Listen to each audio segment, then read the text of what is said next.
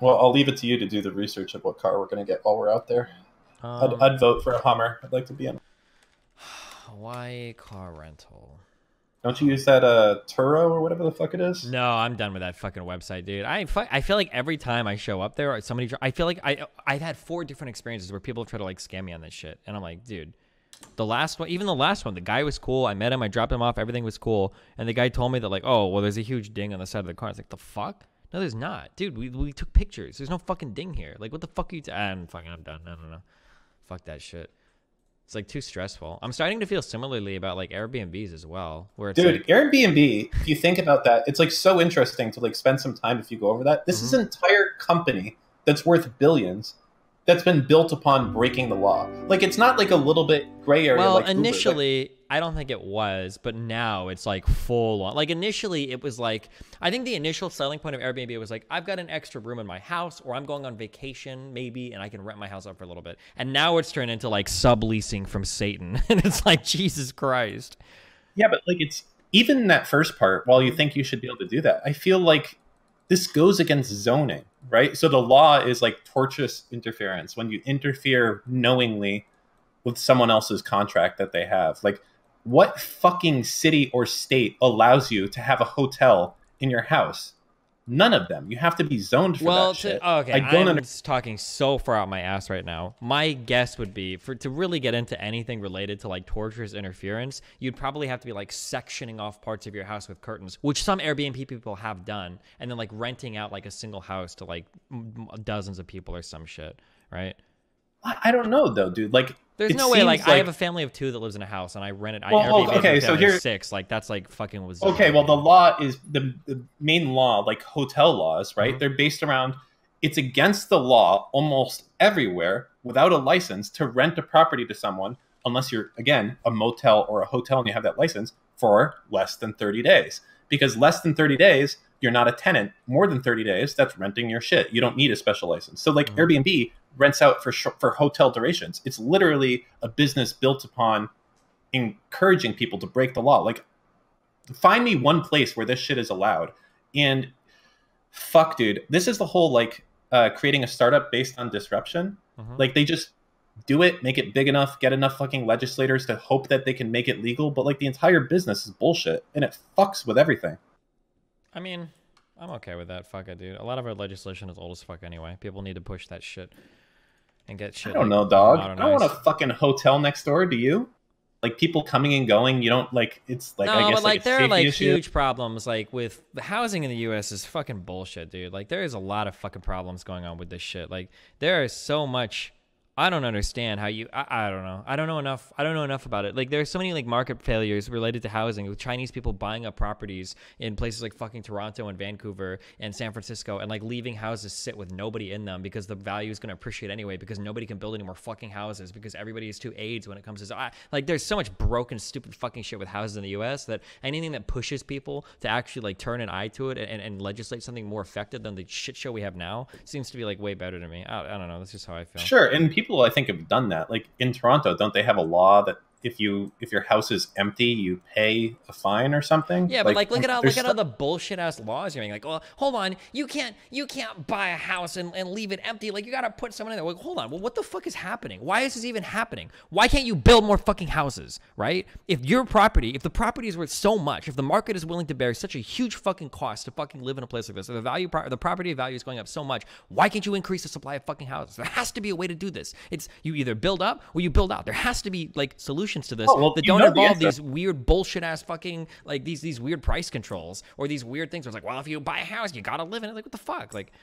the tyranny of the majority or the tyranny of the voters or the people who vote are fucking homeowners. And the less houses that we build, the more that our shit's worth. Like Mhm. that will never fucking change. oh yeah, fuck. There was an article I skimmed a lot of this article and I read some of it about um Tokyo. Dan is only Um, mad not just because Tokyo, but Airbnb apparently Japan. money. Japan takes like some fucking federal hardcore ass approach on zoning, and they're like, "Hey, we're building way more fucking houses. Suck a fucking dick. And they do it. And housing in Japan has apparently never been a problem in like some of these insanely quickly growing cities like Tokyo. Like housing is not a problem. They always have it. But apparently, like Jap- Japan's government takes like a really heavy handed approach and they're like, hey, city, hey, district, or whatever the fuck, fuck you. You're building more houses. Fucking make it happen. Like apparently, they're like really aggressive with that shit. And it seems to work out really well. Like no other country in the world does it as aggressively as they do. And it shows.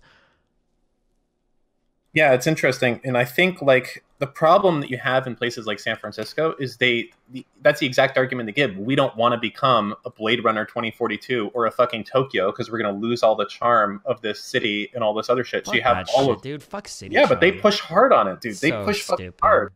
I mean, this is the whole like ruling by majority. Like Mhm. all these laws, like rent control, um, and even this shit about zoning, it's it's just based to protect people who are already here. Like it's new people they get fucked with Yeah. rent control. Well, new people and current people fucked. that don't have preferential housing or have to move Yeah. from their preferential housing for whatever reason. Yeah, yeah. Rent control and zoning shit like fucking irritates the fuck out of me so much. I don't know. Yeah, it's all. I guess it's all seniority based for the most part. Yeah, but it's fucked, dude. All of it. and then there's uh the disproportionate. Do you know about the um one of the reasons to buy a house in California is they have Prop 13. You looked into this. You're gonna hate this one. Oh no, what is this?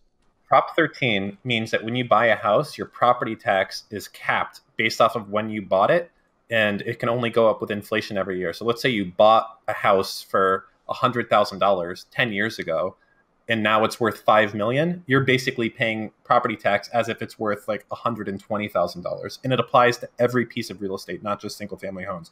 Applies to commercial real estate, rental properties, everything. It fucking absolutely has destroyed. And the thing is now politicians can't even cover this thing because all, all of the voters are like insane. The the lobbying for it, as you can imagine, is like nuts. Wait, so, what is the effect of this? If I buy new property, the taxes are going to be high as fuck on it to make up for it, or exactly it fucks? Well, I mean, it's the taxes are going to be. I think it's like roughly two percent of the thing. So if you buy a place for um, two million bucks, you're going to pay like twenty grand a year. And but like that same someone next door could have the same place and be paying four hundred dollars a year, right? It's so it's another. It's like rent control for landlords, basically. But this is deprived the It's so stupid California. too because this benefits like people that have like the richest property. Like this is such an easy tax to collect from like wealthy people too because they have like the most expensive houses and shit. Yeah.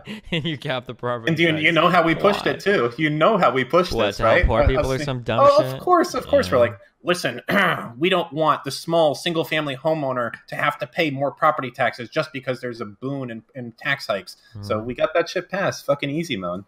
But yeah, this is probably the biggest uh, tax.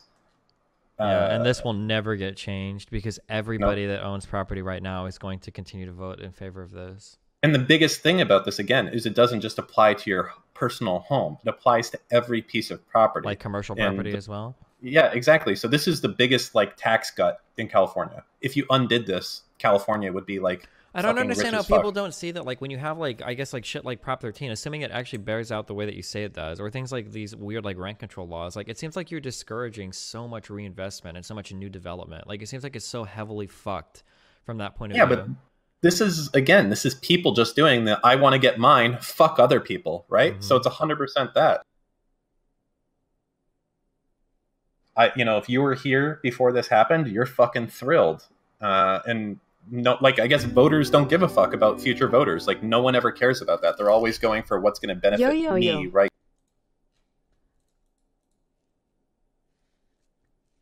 New ban. have you heard of the term McMansion?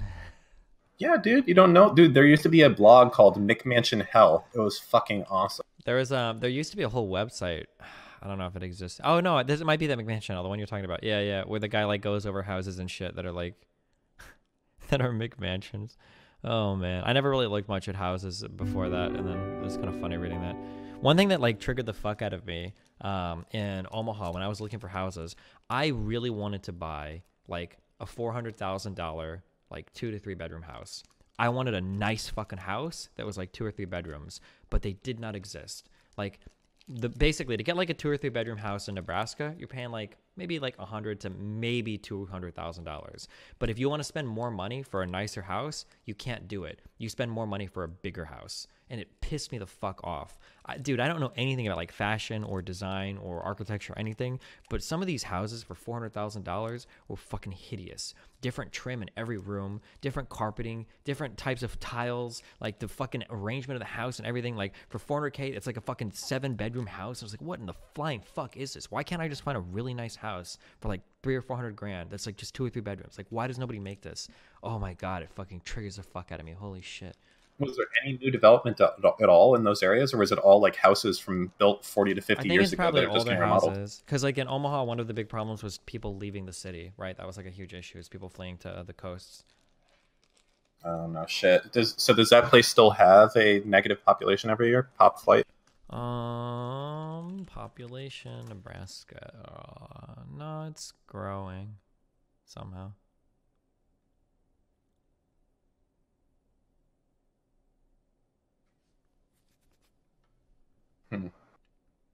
Yeah, dude. Fucking buying new houses though, it's kind of a meme as well. It's um, like like buying from a developer. Like it's very easy to get fucked with that stuff, dude. The whole thing, like, fuck, dude. There's there's so much.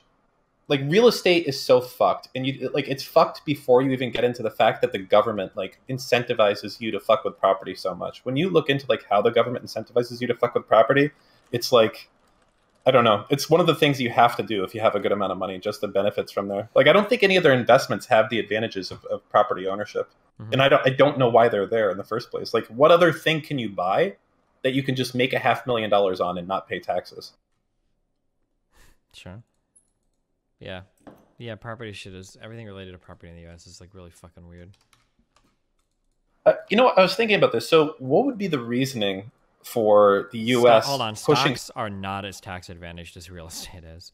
Absolutely No, not. definitely on not. stocks, you have to hold on to that shit for a year if you want to avoid ordinary income on it at the very least. Like, um, yeah, there's like a hundred reasons that real estate is better. Like you have 1031 exchanges, you have uh, the right to sell it and pay no taxes whatsoever. You can uh, deduct the um, depreciation off it. Like there's a million fucking things.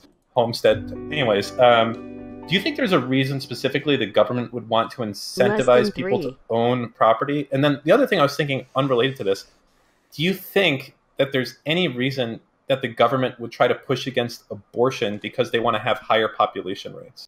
Um, I don't think abortion ties into population growth that significantly. I could be wrong. Um, and then uh, property ownership in the U.S. has always been a dumb fucking meme. It's like it's just like it was like one of those like American dream things, like oh, like you gotta fucking own your own house or some dumb shit. I don't know. Um, I don't think owning your house is, is that important. I think people obsess over that way too much. And Americans are dumb as fuck. They're financially illiterate anyway. People see like their house is like an investment, even though it has no liquidity. And like I, I don't know, there's just like a lot of dumb shit related to like property ownership in, in the U.S. I think I don't know. Yeah, it's pretty misunderstood from a lot of people. And like the mm-hmm. first thing everyone's told is like, "Oh, buy your first house, you'll be good to go." You know, How like, you make more money with stocks, and if you do them right, you don't pay anything. Okay, T first, lay it down on me. How do you not pay any taxes on stocks? I, I would love to hear your tax advantage strategy, please. Well, I would like to hear Yeah. how to do that as well. yeah, that please sounds share with the class. awesome. Please tell us how you make. Wait, I know how you can pay no taxes. It's if you lose money. It's Yeah. fucking easy. Well, what about it carried? I don't know if you can carry forward losses on investment section. I'm not sure. Yeah, but you still have to have the losses in the first no, place. yeah, what I know, the I know, fuck? I know, yeah. Dude, this guy should start a fucking ebook. That's amazing. Just never make money and you're good to go. You'll never pay any gain. Can you not see the difference between those two things? I don't think that those are inherently two different things. Even though the